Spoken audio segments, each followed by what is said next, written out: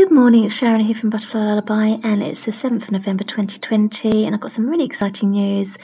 Radio Tircoed, our local radio show, is going to be playing our daughter's song, well, two of our songs actually, Broken Souls today between 7.30 and 10.30am, and um, Vulnerable on Sunday by the um, wonderful lady Kathy um, show. So it's Kathy as in K A T H Y.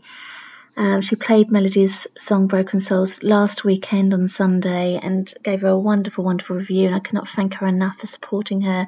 Also, thank Radio Tircoed for supporting local artists.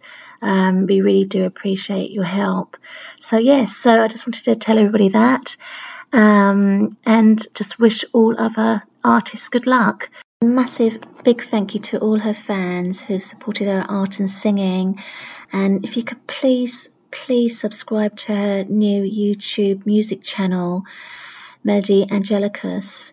Um, we'd really, really appreciate your kind support. And if you could share it with your friends and family, we'd love that. Um, because I feel that her music is it's just so innocent, and we need a little bit of innocence today, don't we, with the music industry, don't you think? He had to change Melody's original name, which is Melody Angel. Um, you know, I gave her the name Melody as soon as I got pregnant because I just knew that I was going to have a girl and that she'd be a singer like her father. I don't know, something just told me this is, you know, this is going to happen. So I had to choose a musical name.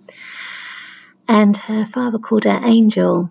But um, there's a lady on YouTube who's called Melody Angel. She's in the USA. She's a very talented artist, so we wish her well. Uh, Melody was very upset about having to change her birth name because that's her name. She wanted to keep her name, but um, but at least you know her vocal coach came up with the idea of Angelicus, which means angels in Latin. And music is written in Latin, so it's the next best thing, really. So yeah, I just wish all artists good luck and um, yeah, thank you to everybody, really, and have a wonderful, wonderful weekend.